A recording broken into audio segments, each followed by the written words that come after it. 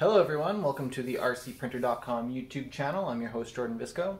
Today we're going to play around with the OpenRC F1 car and we're going to test a few of the different motors that Daniel Norée has recommended uh, for this build. Uh, initially with this build what I put in it was this uh, Surpass Hobby brushless kit. You can see the motor back there and this is a little speed controller. Um, and it does a good job. It's quite quick. Um, the fan itself is a little bit big for this case and it makes it a bit hard to close. You can get it in there, I find if I kind of shove it more towards the back, it gets in there pretty good. Obviously having a fan in there is going to reduce the heat a bit, uh, but it is quite noisy and I'm wondering if we can just use something like this instead. And this was the other motor that Daniel Norée recommended, which is a Surpass Hobby um, brushed kit.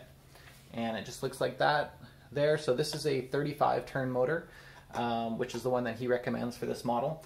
The brushless one in there is a 4,370 kilovolt um, motor. You can also get a 3,300 kilovolt motor would be another one that he recommends.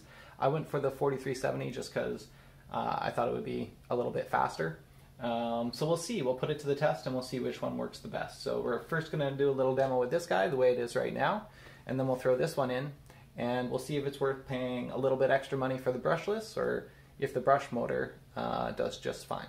Also, I should mention we're going to run a 2S LiPo battery in here, and we're going to run the same battery on uh, both the brush setup and the brushless setup. You can run them on 3S LiPo, um, but I don't think it's required just based on the initial testing I remember I did with this. It was pretty quick already. So we'll see how that goes. There's not a ton of space in there for a big battery anyways, so um, we'll stick with the 2S for now. And we're going to turn it on just so you can see what it sounds like. So you can see those brushless kits um, do produce quite a bit of noise. So let's get the lid on and we'll get it outside.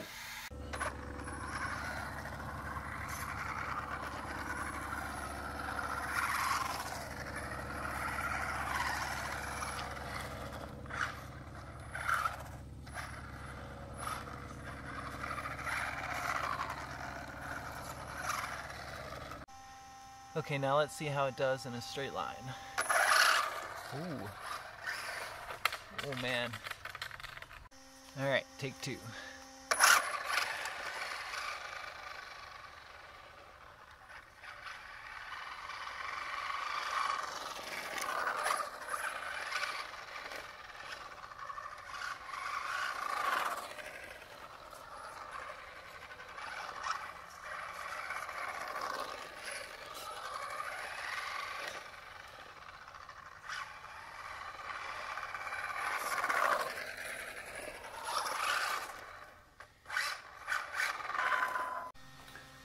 Okay, we're back inside now from our test run, and as you can see, that motor had way more than enough power to get this thing going. Um, I can peel out all over the place. It's really hard to control.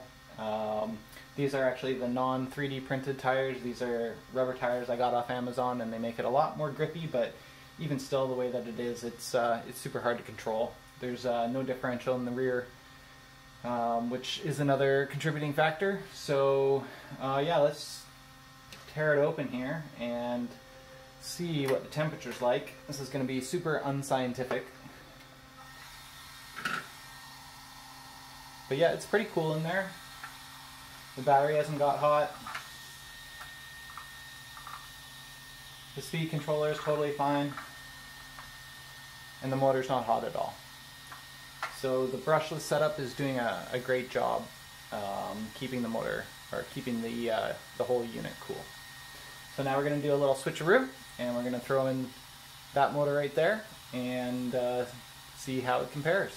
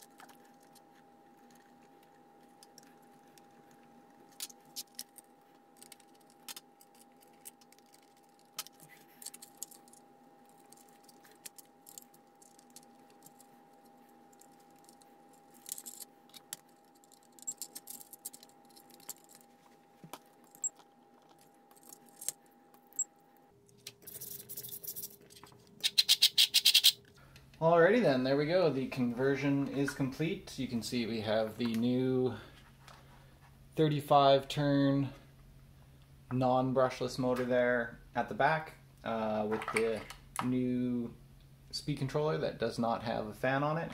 It is on right now and you can hear nothing. Um, so love that quietness. And it still feels like it's going to have a ton of power. Uh, but let's bring it outside and see how she performs.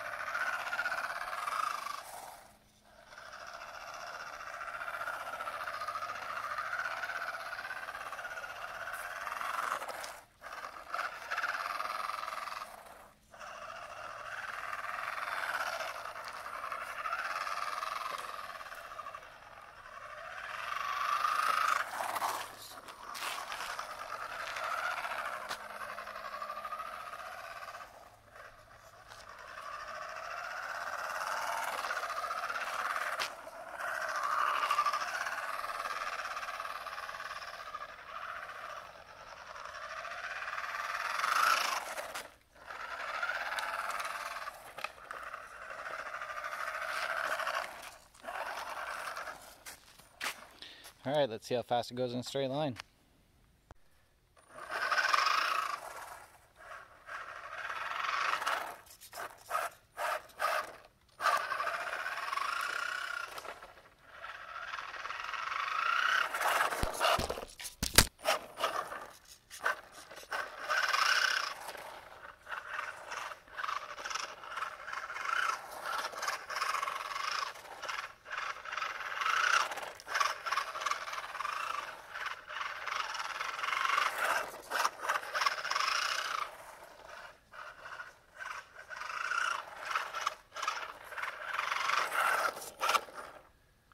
Pretty good.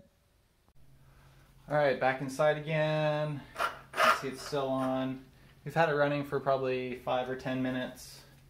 And so we're gonna open it up and see what the heat's like inside. Battery's cold. Speed controller.